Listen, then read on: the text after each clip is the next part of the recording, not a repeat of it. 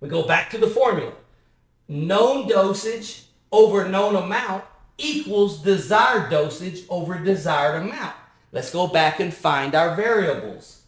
We see here where you are ordered to give seven and a half milligrams of albuterol. This seven and a half milligrams is our desired dosage. Okay, perfect. What is what what are our available dosages? What do we know that they come in? Well, they come in 2.5 milligrams per three milliliters. This is the this is the known dose. This is the known amount. So now we just have to go back and plug this information in. We know that we have 2.5 milligrams, and that comes in a unit dose in the amount of 3 milliliters.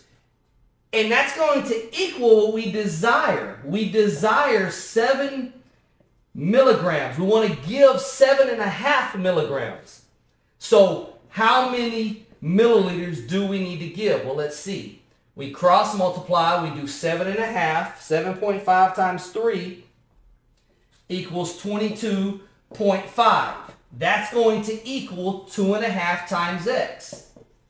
2.5 x. Now, all we have to do now, remember, is to get x by itself. So we're going to divide both of these by 2.5. That's going to leave, this is going to cross out. That's going to leave x by itself. 2, 22.5 divided by 2.5 equals 9. So we need to give 9.